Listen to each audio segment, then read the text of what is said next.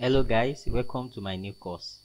In this course i'm going to be showing you a step-by-step -step detail on how you can use AutoCAD to manually generate or to edit reinforced concrete structural detailing.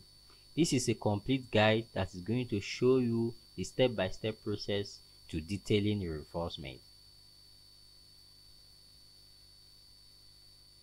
You are not just going to be seeing how to detail it but i'm also going to be showing you how to prepare prepare other stuff like bar bending schedule how to place your structural drawings how to correctly position your work.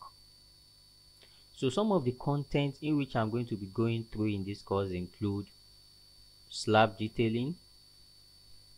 So under this slab detailing we discuss solid slab we discuss slabs with openings then we also discuss irregular shape slab. I know most of you are conversant with rectangular shape slab.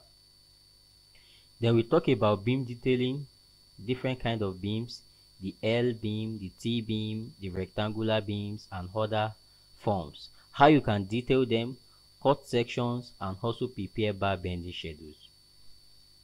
We talk about column detail, depending on the number of floors you are working with, you are going to detail columns, cut sections and also preview your work.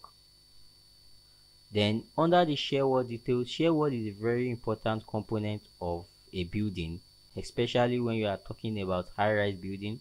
So in this course, I'm going to walk you through how to generate your elevations for shear walls, how to place in your reinforcement and how to call the reinforcement out, correctly detail it professionally.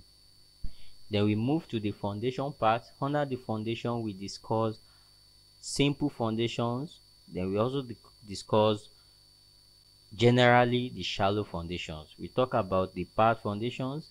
We talked about the combined foundation, which other means you can say combined footing. Then we also talk about raft slab detailing. So under this, I walk you through the step-by-step -step process on how you can generate your detail manually and also to edit softwares. I know most of us are used to working with softwares like structural engineering softwares to produce details like ETABS, ProtaStructures as the case may be.